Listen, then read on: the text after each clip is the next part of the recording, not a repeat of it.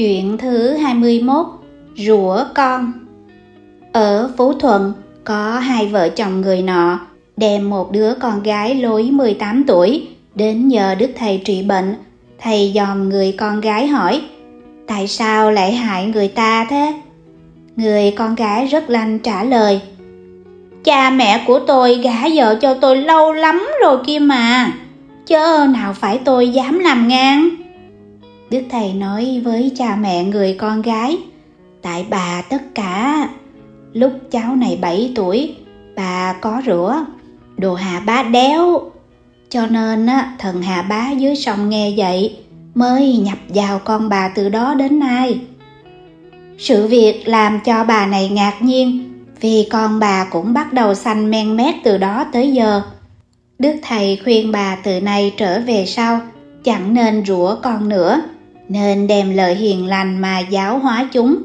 Rồi Ngài quay sang đứa con gái nói, Thôi, người ta đã ăn năn rồi, người phải trở về chỗ cũ, từ nay đừng làm chuyện sằng bậy. Vừa nói Ngài vừa ngậm nước phun vào mặt, tức thì cô bé té ra, dây lâu tỉnh lại và nói chuyện tỉnh táo như thường. Cha mẹ người này cảm ơn rối rít. Đức Thầy khuyên, ông bà nên ăn chay, niệm Phật, làm lành. Thuật theo lời cô tu sĩ Võ Thị Đồng Luận giải Nhiều người không rõ tai hại của khẩu nghiệp nên mỗi khi tức giận là họ lại kêu mời cõi âm mà trù rủa.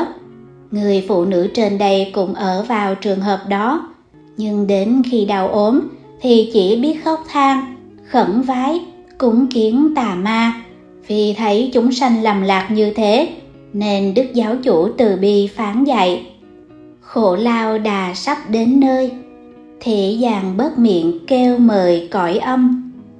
Trích quyển 3 sám giảng.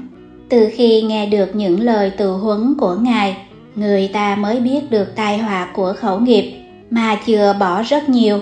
Câu chuyện trên đây cho ta thấy rõ, người không biết giữ gìn khẩu nghiệp, thường buông lời nói ác hoặc kêu cõi âm mà khiến sai, mời thỉnh, chẳng những mang tội ác khẩu mà còn gây lắm tai họa cho gia đình mình. Chừng đó mới hối tiếc khóc than, thì ôi thôi đã muộn. Ta hãy nghe lời tự huấn của Đức Tôn Sư. Lựa lời tiếng dịu dàng trong sạch, khi thốt ra đoan chánh hiền từ. Tích thiện thì thường có phước dư, bằng tích ác, hòa ương đèo đắm Trích quyển 5 sách khuyến thiện. Ha ha ha,